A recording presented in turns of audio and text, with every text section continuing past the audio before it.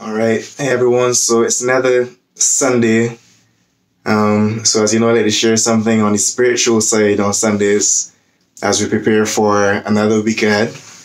And as I was reading the the Bible verses for today, um, you know, one of the things I like about Jesus is that he was a very straightforward and, and simple guy. In many ways, quite easy to follow and perhaps one of the earliest models of leadership via storytelling. So the story that I came across today was the the parable featuring two people, two guys who went to the temple to pray. So the first guy is this uh, Pharisee, you know, religious person of a certain stature and privilege, so forth and he goes to the temple and he begins to pray and he is talking about all the ways that he's better than other people. So he says, you know, God, look at me. I'm so much better than the thieves and the adulterers and even this tax collector over here, who happens to be the second guy. So he says, God, you know, I, I should have my place because I'm better than all of these people and the tax collector not going to the the temple, keeping some distance back. He's beating his chest and he's saying, you know, God forgive me, a sinner.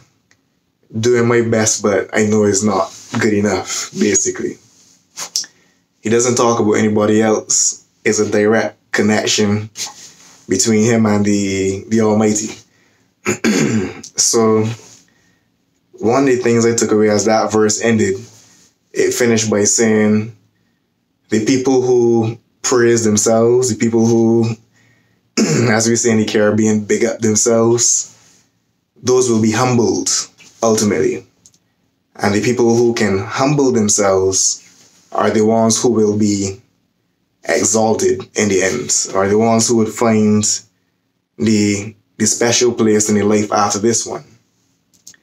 And that is important to remember as you pursue your success and you build things in, in this lifetime that on the spiritual side, we're not really living for, for this life in itself.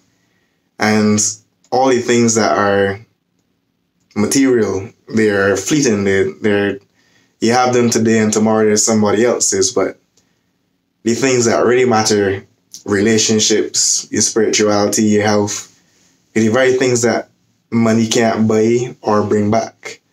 So as you think about this week looking forward, make sure that you factor that into your your thinking, the way that you that you try to be. That you focus not on praising yourself or putting yourself forward as seeming better than somebody else, but focusing on the competition within yourself. How can you be better today than you were yesterday? And keeping a direct spiritual connection to the source because each of us can only account for ourselves um, at the end of the day.